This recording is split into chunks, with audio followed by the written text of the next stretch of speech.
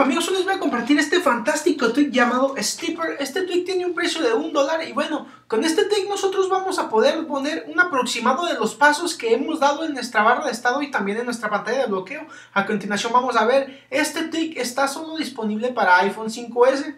Nosotros ya que lo instalamos nos da un reinicio rápido y nos, y nos aparece una pantalla como esta eh, pidiéndonos permisos para usar esa aplicación. Muy bien, ahora... Pueden ver ahorita mi barra de estado, yo tengo que hoy he dado 6.495 pasos. Yo instalé este tweak antes de ir al gimnasio para probarlo, etcétera, y pues parece que va muy bien. Muy bien, y este tweak nos crea un menú de ajustes donde nosotros vamos a ir y vamos a buscar Steeper. Muy bien.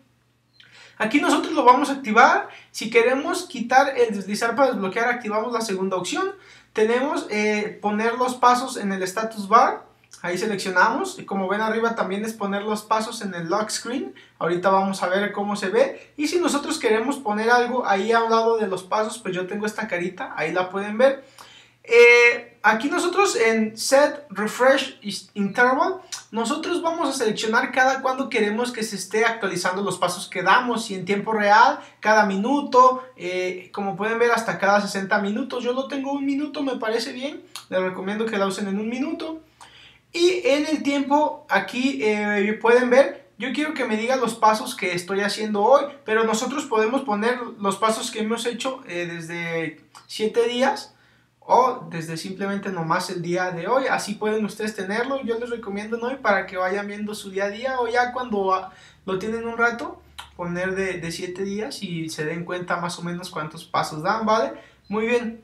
Ahora me regreso y como pueden ver ya son puras eh, opciones de desarrollador, etcétera. Muy bien, ahora vamos a ver cómo se ve en la pantalla de bloqueo. Aquí lo pueden ver ya en la barra de estado, ahí arribita. Y entonces yo voy a bloquear mi dispositivo y ahí pueden ver a un lado de, la fecha eh, una, un botoncito negro con los pasos.